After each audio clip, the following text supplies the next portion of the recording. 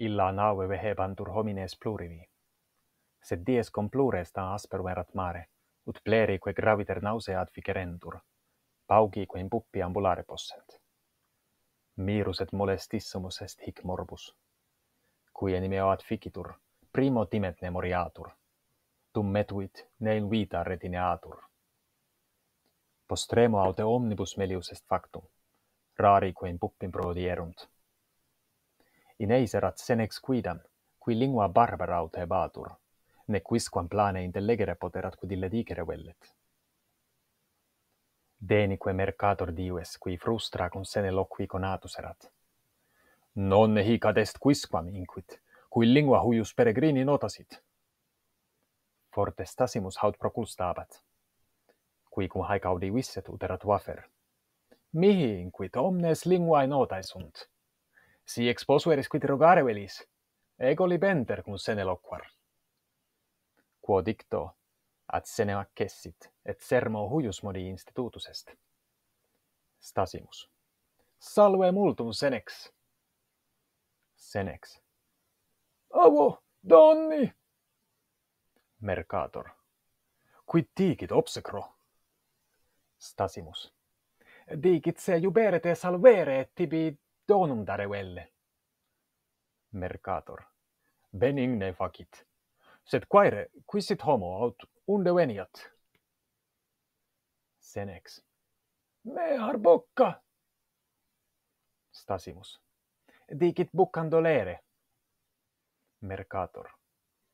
Fortasse noosesse medicos putat. Quaere siis, nam hospitem sic rare nolo. Senex per forsa vulc. Mercator. Quid nunc digit? Stasimus. Digit se ursas vendere velle. Mercator. Mm, forsi tam bestias comparet in amfiteatro exhibendas. Senex. Palum mercedeta! Stasimus. Mm, Dicit se palas quoque vendere. Mercator a terra me fodiendam credo. Sed vix intellegere possum, cur negotia tam diversa confundat. Senex. Urponeo succorrim! Mercator. Quid dicit obsecro? Stasimus. Te jubet sub corbulam repere. Mercator. Papae, delirat profecto! Cum hic sermo haberetur, Publius et Sextus propestabant, vixe continentes quo minus in cacinnos erumberent. Sed iame camera processit Cornelius, et stasimus celeriter in puppi extremans ercepit. Quo facto Cornelio mercator, esne inquid ille stasimus servus tuus. Ita inquid Cornelius, ne cusquam est puer scelestior. Haudita mihi videtur, inquit mercator, nam modo mihi operam benigne dedit, cum hunc peregrinum quaedam rogare vellem. Quomodo obsecro ille te adiuare potuit, inquit Cornelius. Multis linguis ego utor, sed nego quidem Paulo ante intellegere poteram, quid hic ignotus dicere vellet cum me appellaret. Stasimus autem nihil nisi latinescit. Suspico rigitur eum me ludificasse, inquit mercator ridens. Sed, sine dubio omnia per iocum fecit. Ac spero Deo supplicium te non sumpturum. Tum Cornelius. Dolis eius inter tum ira tant per encendorup vix me continere possin, quominus eum in cruces statimangam. Cum autem tu, tam clementer suadeas, poinas non dabit. Done caliam noxian commeruerit. Dum illita inter selo cuntur, peregrinus, a spe omni destitutus, caput quas sans tristis discessit. Atque interim Publius et Sextus ad proram processerant, ubi fluctus magnos admirantes diustabant. Tum Sextus. His nein regionibus, inquit. Pugna navalis unquam commissast. Olim, inquit Publius, in Mari Pampylio, Hannibal, cum rodiorum classe conflixit sed multo est mirabilior pugna. Quae eumenem, regem pergamenum, poinus idem fugavit. Ah, de hac nunqua audivi, inquit sextus.